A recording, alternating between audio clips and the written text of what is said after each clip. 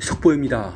중국 남부에 위치한 후난성 창사에 며칠째 폭우가 내리면서 도로 침수와 산사태 등으로 인명피해가 속출하고 있습니다. 중국 당국은 앞으로 추가 피해가 발생할 수 있다며 호우적생 경보를 발령했습니다. 한편 중국 남부에 폭우를 뿌렸던 비구름이 중국 내륙으로 북상해 계속해서 피해를 내고 있습니다. 양쯔강 이남 3대 호수로 꼽히는 서호가 범람 위기에 처해 있습니다. 서호호수의 범람을 막기 위하여 서호호수의 수문을 조절하고 있는 위기 상황입니다. 이제 중국 남부를 위협하던 이 폭우가 후난성 창사에 큰 폭우를 뿌린 후에 양쯔강, 즉 창사의 서호 호수를 위협하고 있으니 그 다음으로는 위치적으로 가장 위험할 수 있는 지역은 바로 그 호수는 위치적으로는 둥띵후 호수입니다. 이 둥띵후 호수는 양쯔강, 즉 창장의 중상류에 위치하고 있으며 주변 지역의 강수량이 많아지면 물이 흘러 들어가기 쉽습니다. 그 결과로 인해 호수의 수위가 급격히 상승하여 범람한 위, 범람을 할 위기가 큽니다. 포가 양쯔강, 즉 창장 상류에서 발생하면 이 지역의 수문과 댐들이 물을 방출하고 할 것이지만 그럼에도 불구하고 물이 하루고 하루로 흐르게 되면은 이 둥띵우 호수가 갑자기 급작스럽게 범람할 위험도 있습니다. 이 곧 범람 위기가 예측이 되는 둥띵호는 한국어로는 동정호입니다. 이 중국 후난성 외양시, 창더시, 이양시에 걸쳐 있는 거대한 호수입니다. 이 동정호는 중국에서 네 번째로 큰 호수로 산샤댐의 건설로 인해서 유량이 많이 줄어들어서 현재는 포양호보다 작은 호수가 되었으며 우리나라 고전 문학 작품에도 이 동정호는 자주 등장을 합니다. 조선 문화에도 막대한 영향력을 끼친 중국의 전, 전설적인 시인 두보가 동정호 주변에 살면서 이 호수의 아름다움을 노래한 시를 많이 읊었습니다. 시인 두보가 주변에 살았던 이 동정 호수가 범람 위기에 처할 경우 위치적으로 그 다음은 바로 포양후 호수입니다.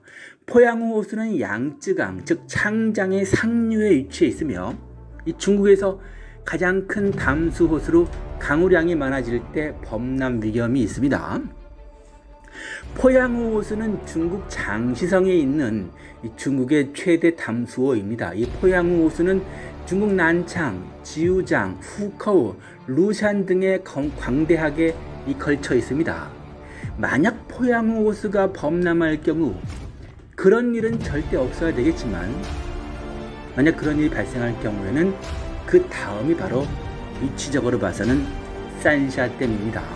만약 그런 일은 절대로 없어야겠지만 만약의 경우 산샤댐마저 위험이 처하게 되면 그 다음으로 주의해야 할 대상은 바로 타이유 호수입니다. 이 타이유 호수는 양쯔강 즉 창장의 중하류에 위치하고 있으며 중국에서 가장 큰 담수 호수 중 하나로서 중요한 경제적 중심지 주변에 있습니다.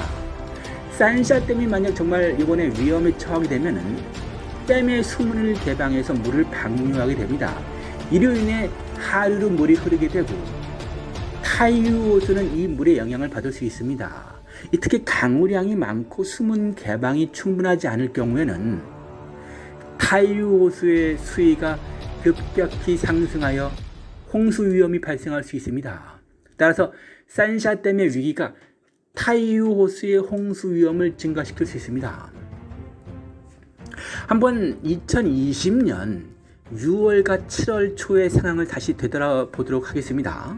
2020년 6월부터 중국 남방 지역의 현재랑 똑같이 2024년과 똑같이 한 달 넘게 계속되는 폭우로 인해서 양쯔강, 즉 창장 등 주요 강의 수위가 급격히 높아졌으며 중국 수리부 차관은 국무원 브리핑에서 중국 전역에서 433개의 하천에서 경계 수위를 넘는 홍수가 발생했다고 발표했으며 특히 이 가운데 33곳은 사상 최고 수위를 기록했습니다. 장장, 양쯔강과 황허 상류, 주장유역과 타이유 등지에서 홍수가 났습니다. 기억나시죠? 좀 전에 이 타이유는 말씀드렸던 바로 그 위치적으로 산샤댐 위기 이후에 영향을 받을 수 있다고 제가 언급했던 바로 그 타이유 호수입니다.